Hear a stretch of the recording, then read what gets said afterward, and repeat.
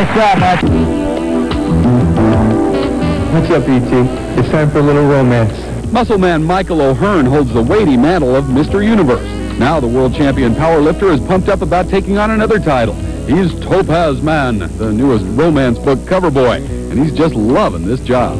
Guys, eat your heart out. Basically, it's just, you know, posing with beautiful women throughout the year. I said, okay, I can handle that. Sometimes involves a little wardrobe change. I got something smaller.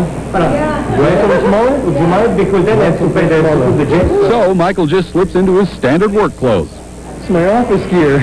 Not much. Florida? Yeah, good.